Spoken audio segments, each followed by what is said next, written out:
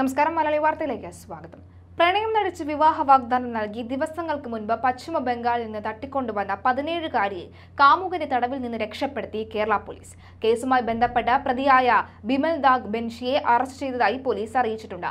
വൈദ്യപരിശോധനയിൽ പെൺകുട്ടി ബലാത്സംഗത്തിനിരയായതായി തെളിഞ്ഞതിനെ തുടർന്ന് ഇയാൾക്കെതിരെ പോക്സോ കേസ് എടുത്തിട്ടുണ്ട്. പെൺകുട്ടിയെ തട്ടിക്കൊണ്ടുപോയെന്ന് ആരോപിച്ച് ശക്തിവാഹൻ എന്ന സംഘടന പശ്ചിമ ബംഗാളിലെ റായ്ഗഞ്ച് പോലീസിൽ ശിശു സംരക്ഷണ കമ്മീഷനിലും പരാതി നൽകിയിരുന്നു. കേരളത്തിലെ ക്രൈംബ്രാഞ്ച് വിഭാഗമായ പശ്ചിമ ബംഗാൾ പോലീസ് നൽകിയ വിവരത്തിന്റെ അടിസ്ഥാനത്തിൽ പശ്ചിമ ബംഗാൾ പോലീസിന്റെ സൈബർ വിഭാഗം പെൺകുട്ടിയുടെയും യുവാവിന്റെയും ഫോൺ ലൊക്കേഷൻ പരിശോധിച്ച് ആലപ്പുഴയിൽ ഇവർ ഉണ്ടെന്ന് കണ്ടെത്തുകയായിരുന്നു. അഞ്ചു ദിവസം മുൻപ് കടലിൽ ജോലിക്കായി കയറിയ യുവാവ് രാവിലെ മുറിപൂട്ടി താക്കോലുമായി പോകുകയും രാത്രി മടങ്ങി വന്ന് ടെറസിൽ പോയി ഭക്ഷണം പാകം ചെയ്ത് കുട്ടിക്ക് നൽകുകയുമായിരുന്നു.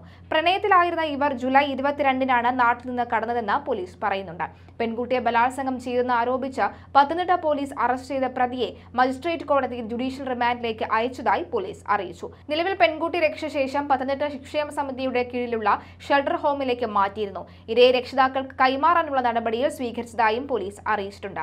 മറ്റൊരു സമാന സംഭവത്തിൽ പശ്ചിമ ബംഗാളിൽ നിന്ന് കൊണ്ടുവന്ന അങ്ങാടിപ്പുറത്തെ ലോഡ്ജിൽ താമസിപ്പിച്ച പ്രായപൂർത്തിയാകാത്ത പെൺകുട്ടിയെ രക്ഷപ്പെടുത്തി. മലപ്പുറം ചൈൽഡ് ലൈനാണ് പെരിന്തൽമണ്ണ പോലീസിന്റെ സഹായത്തോടെ പെൺകുട്ടിയെ രക്ഷപ്പെടുത്തിയത്. അങ്ങാടിപ്പുറത്തും സമീപത്തും നടത്തിയ തിരച്ചിലിലാണ് സ്വകാര്യ ലോഡ്ജിൽ വ്യാജരേഖകൾ കാണിച്ച് രഹസ്യമായി പാർപ്പിച്ച കുട്ടിയെ ബംഗാൾ സ്വദേശിയായ അൻസാർ അലി എന്നയാൾക്കൊപ്പം കണ്ടെത്തിയത്. കുട്ടിയെ രക്ഷപ്പെടുത്തുകയും കൂടെയുള്ളയാളെ പോലീസ് കസ്റ്റഡിയിലെടുക്കുകയും ചെയ്തിട്ടുണ്ട്. കുട്ടിയെ കടത്തിക്കൊണ്ട് വന്നതിന് ജൂലൈയിൽ രക്ഷിതാക്കൾ നൽകിയ പരാതിയിൽ ബംഗാൾ പോലീസ് കേസെടുത്തിരുന്നു. ഇതിന് പിന്നാലെയാണ് ബംഗാൾ പോലീസ് കേരളത്തിലെത്തിയത്.